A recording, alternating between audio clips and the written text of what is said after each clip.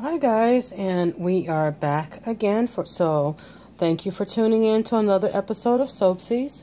And today we're gonna continue on with the uh, doing of the men's soap. Um, yeah, because like I said, mustn't forget our men out there. They want to smell good too, and they need pampering as well.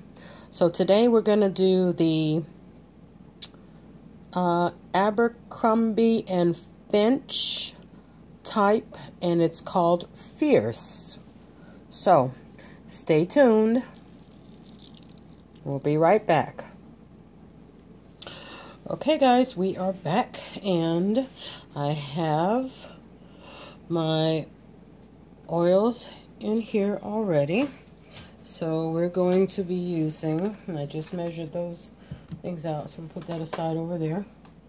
We're going to be using today the Aztec version of the Finch. Can you read that okay? Let's see if I can get that in there for you. Abercrombie and Finch Fierce type. And again, I use a lot of their fragrances because I just they've never failed me. I don't have problem with ricing or acceleration. So we just keep on going with it. And then we're to do, again, just a one pound today. So here's my mold. And for any leftovers, we got another one over here to take care of that. So we're going to bring this to a light trace. Put that in there. Burp it. Now, I think on that last video, I said with your lye water, you add the water to the lye. I apologize for those that caught that and those that didn't. Please accept my apology on that. Because when you're doing your lye, your lye water, you want to add the lye to the water. Never add the water to the lye. Okay, so we get that. We're now with that, adding the lye water in. Okay.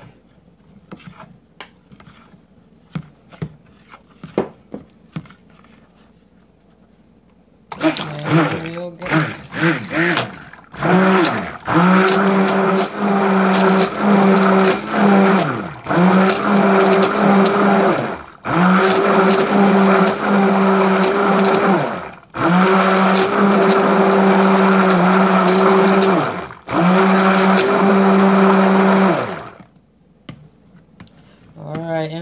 not gonna you. I'm not gonna keep you guys on while I get this up to trace and we'll get a color on it.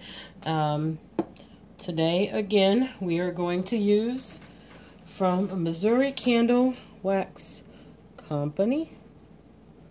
And we're using their green chrome oxide for coloring today. You guys see that okay?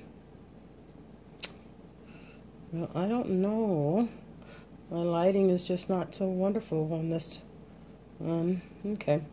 Anyway um, we're going to be using about a about a fourth of it no an eighth.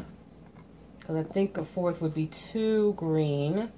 So you can always color these more or less depending on how it looks to you. So it's personal preference. Start off with a fourth and then um, if you want it darker, add more. Okay, be right back. Hold on. Okay, we're back. And at this time, I'm going to go ahead and add in the scent.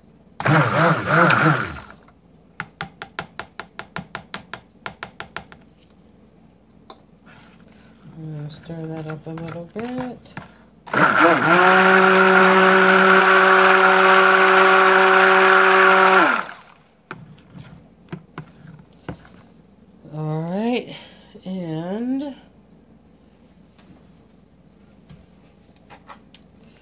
Didn't get my spoon out for this.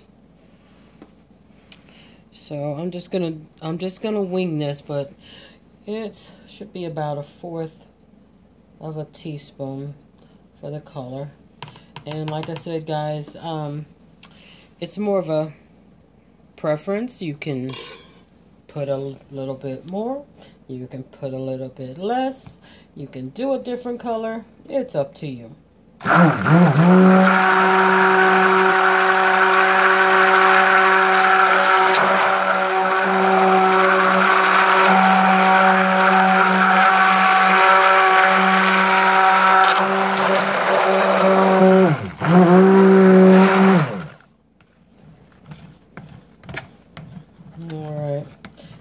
like the way that came out.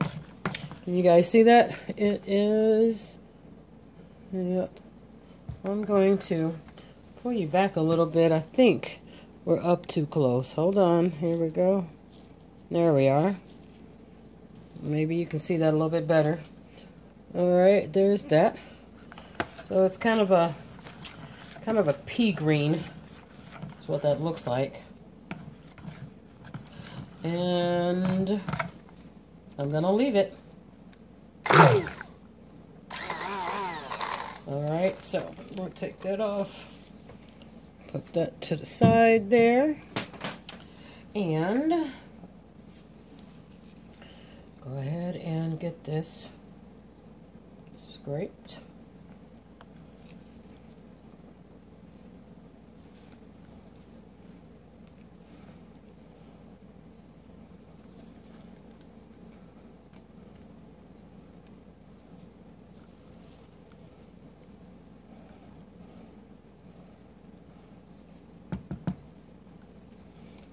Okay.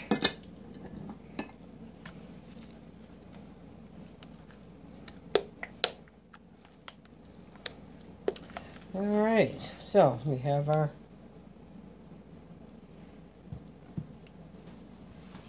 one pound loaf ready. Here we are. And here we go.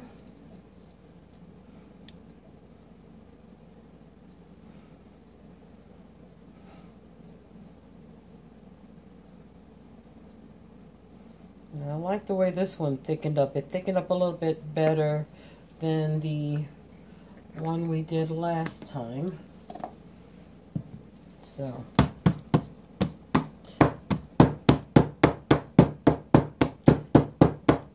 Tap it out.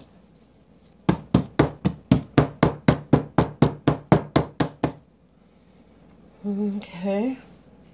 I think we can do maybe a little bit more on that one.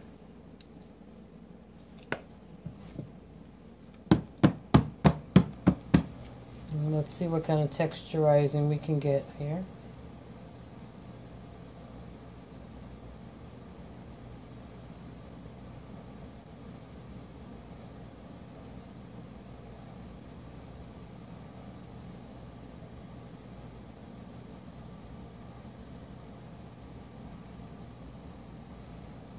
That looks okay.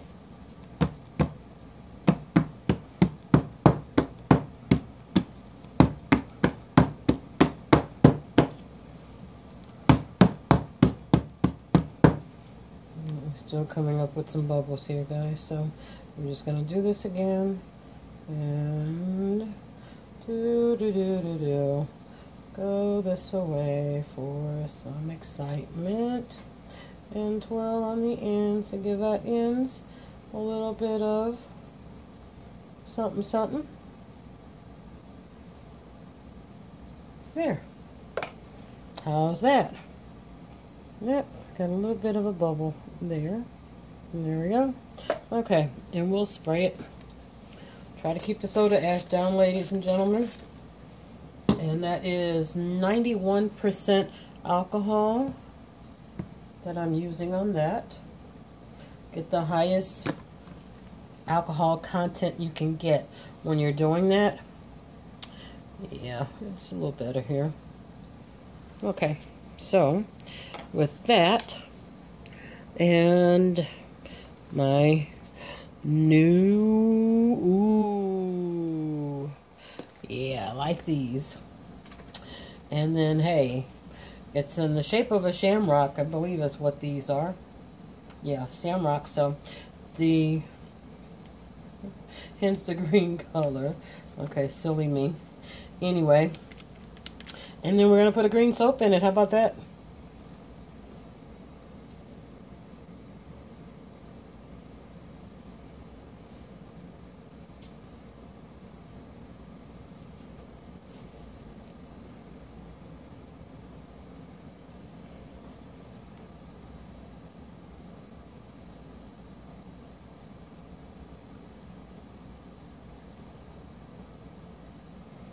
Don't think there's enough for two on that leftovers. We'll try it. Uh, I mean, at worst comes a worst, it'll just be just another little bitty sample.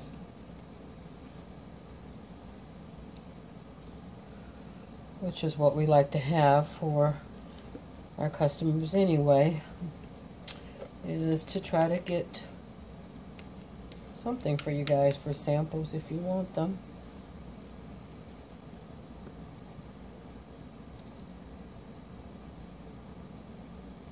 Okay, that's that.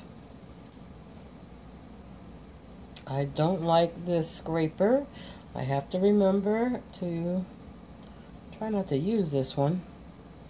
It's good for some things, for what I for what I do and for what my needs are.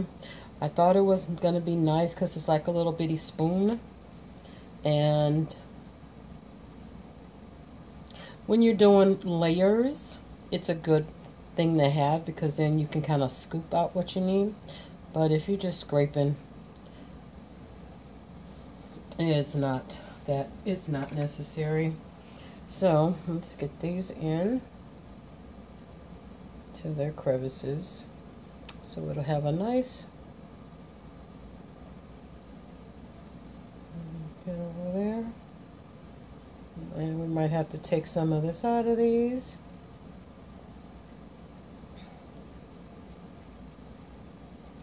And no worries, because that can always be done, ladies and gentlemen. If you got too much in, hey, scoop it out.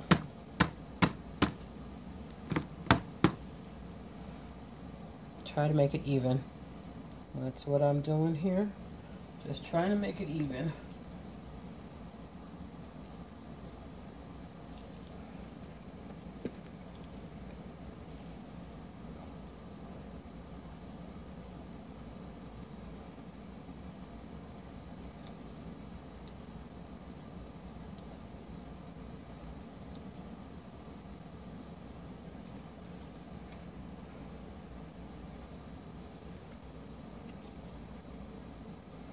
Might have to analyze and put some back.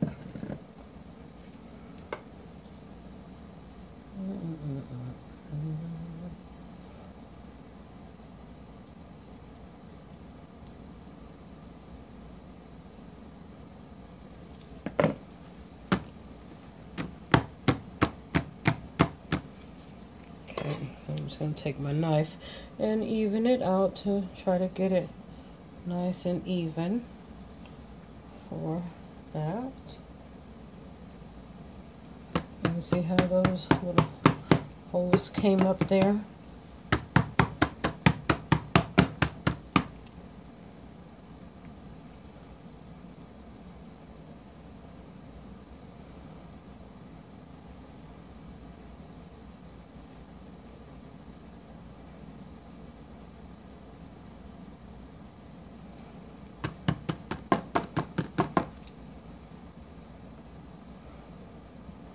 There we are.